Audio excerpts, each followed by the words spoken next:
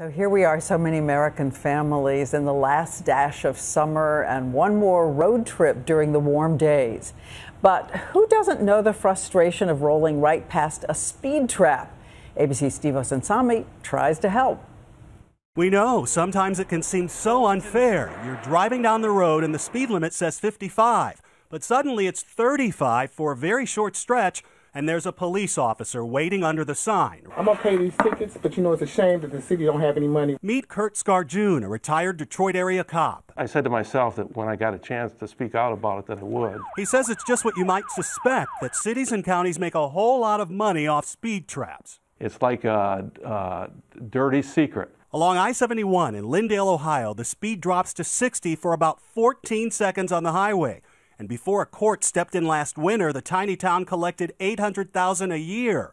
Along I-10 in the middle of Cajun country, tickets from a speed limit change at the bottom of this bridge covered 80% of the budget for Henderson, Louisiana, more than $2 million. The police chief and his deputy deny it, but they're accused of paying officers kickbacks to write tickets. But across the country, drivers are taking note, reporting more than 78,000 speed traps since 2000. In the data, a warning the cities with the most traps are Colorado Springs, Denver, Vegas, Austin, and the number one is Houston. To all those frustrated drivers who feel they've been pulled over in a speed trap, authorities say that when there's a hill and the speed limit is 25 miles an hour, it's not a trap, it's about public safety.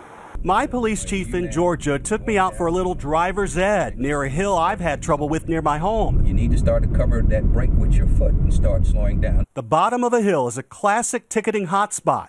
He saw us sitting here and he's already up to 38 miles an hour. We know that speed kills. According to the federal government, nearly 10,000 Americans die every year in speed related accidents. These are not speed traps. What these are, we're responding to citizens in, who reside in this community who are saying that there are people who are traveling along this roadway at 40, 50 miles per hour. He says they certainly raise revenue here, but says their real goal is to slow everyone down. Steve Osunsami, ABC News, Atlanta.